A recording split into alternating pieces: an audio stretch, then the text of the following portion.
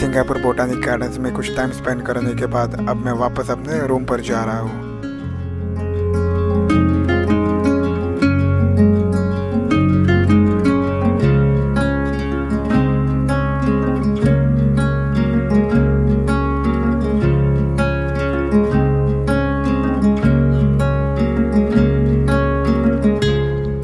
अंधेरा इतना ज़्यादा था कि मुझे रास्ता ढूँढने में भी परेशानी हो रही थी। इसीलिए मैंने आपसे पहले ही कहा कि जब भी आप सिंगापुर बोटानिक गार्डन्स आओगे तो हो सके तो सुबह ही आना ताकि आप ज़्यादा से ज़्यादा चीज़ों को एक्सप्लोर कर पाओ, क्योंकि रात में आपको यहाँ शायद ही कुछ देखने मिले।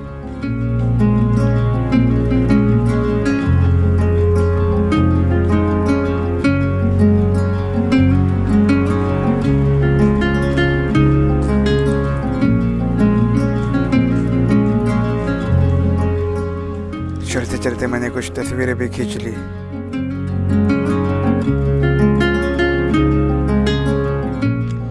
आखिरकार जिसका मुझे डर था वही हो गया। मैं रास्ता भटक गया। लेकिन यह हवा भटकने के बाद मुझे आखिरकार रास्ता दिखाई दिया और मैं यहाँ से बाहर निकल गया।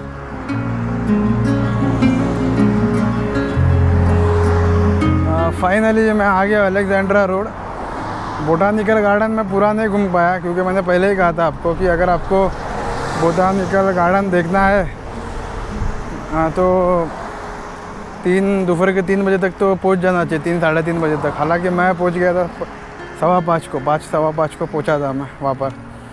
तो इसलिए मैं नहीं देख पाया पूरा लेकिन मेरे पास टाइम बहुत है तो, तो मैं कभी भी जाके कवर कर सकता हूँ जाके देख सकता हूँ। लेकिन आप में से जो लोग आते हैं पाँच या छः दिनों के लिए या आठ दिनों के लिए तो उनको तो मैं यही कहूँगा कि आप या तो एकदम सुबह चले जाइए सात आठ बजे या तो फिर सीधा दोपहर में चले जाइए आप तीन बजे, साढ़े तीन बजे, क्योंकि आप ग्यारह बजे और तीन बजे के बाद अगर आप जाओगे ना तो आपको बहुत गर्मी पड़ेगी वहाँ पर।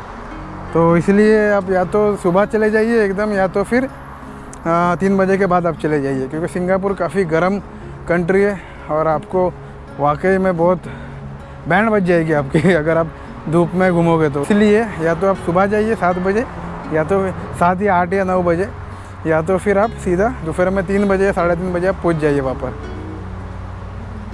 हाँ, खैर मैं तो पूरा नहीं कर पाया और रात का तो आपको मैंने दिखाई दिया कि किस तरह से दिखता है रात में। रात में जाके मतलब नहीं है। शाम को अगर मैं चले जाऊँ जैसे आज मैं गया पाँच बजे तो ठीक है दो तीन गार्डन मैंने देख लिया वहाँ पर लेकिन ज़्यादा नहीं देख पाया।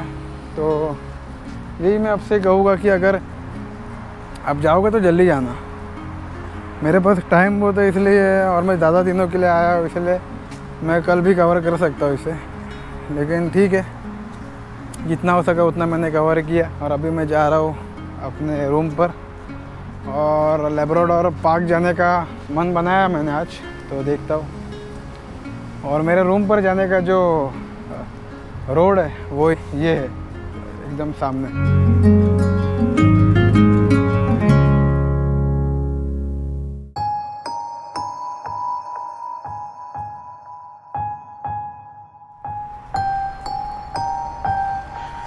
रोड पर कोई भी नहीं है मैं अकेला ही हूँ।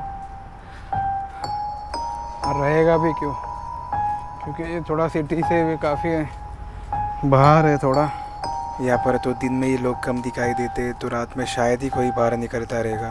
तो इस जगह पर मैं रहता हूँ। जब पहली बार मैं आया था यहाँ पर तो थोड़ा मतलब घबराया तो नहीं था लेकिन थोड़ा नर्वस तो था मैं यहाँ पर रहने के लिए क्योंकि एकदम अंदर है ये रोड। एकदम रूम एकदम अंदर है घर इनका जो है मिस्टर मैंसन उनका घर काफ़ी अंदर है और इतना अंदर रहना हालाँकि टैक्सी ड्राइवर भी जब मैं दो तीन बार या टैक्सी में आ, आ चुका हूँ पहले भी तो जब टैक्सी ड्राइवर पूछते यहाँ पर आते तो वो पहले से यही सवाल पूछते कि इतना अंदर आप कैसे रहते हो? तो उनके मन में भी थोड़ा डर रहता है कि इतना अंदर को कैसे रह सकता है? लेकिन रहते हैं।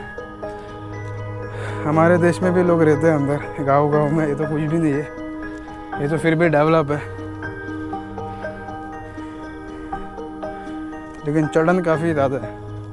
हालाँकि मुझे कुछ लोकल्स लोगों ने बताया कि यहाँ पर एक पेड़ है, जहाँ से बच्चे के रोने की आवाज़ें आती है। और अब मैं उसी पेड़ के पास से गुजरते हुए अपने रूम पर जाऊँगा।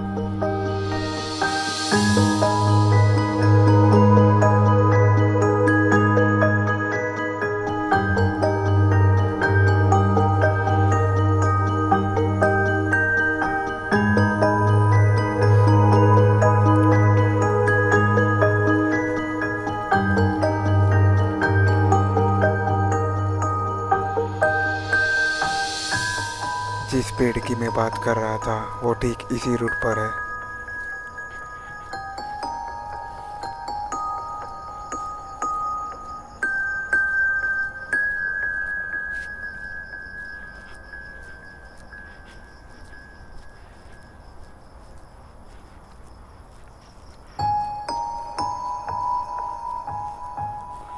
हालाँकि यहाँ पर डरने जैसी कोई बात तो नहीं है।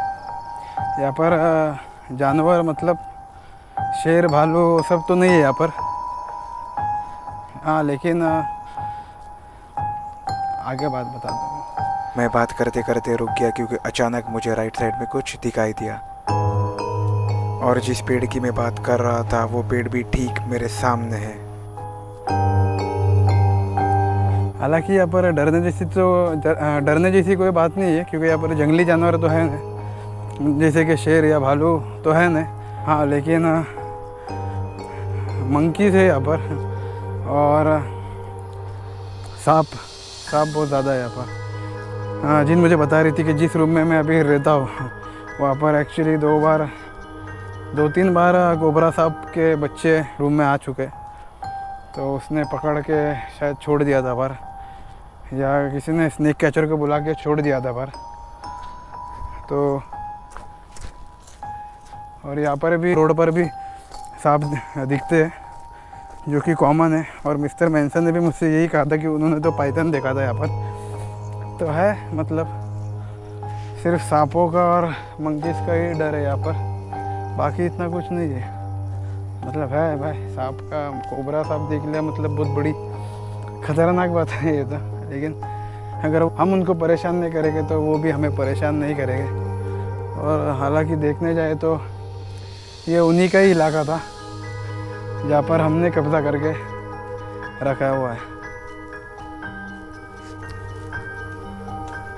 मेरा रूम अब बस पहुँचने की कगार पे हालाँकि मैं जाते तब यहाँ से गया था दोपहर में, यहाँ से। और मेरा रूम है वहाँ पर। थोड़ी रोशनी दिख रही है, वो मेरा रूम नहीं है, उसके थोड़ा आगे वाला रूम मेरा रूम है। बताता हूँ आपको। ये सारे कचरा भर के यहाँ पर रख दिए। ये रहा मेरा रूम यहाँ पर और अब मैं जा रहा हूँ अपने रूम पर और मिलते हैं थोड़ी देर बाद।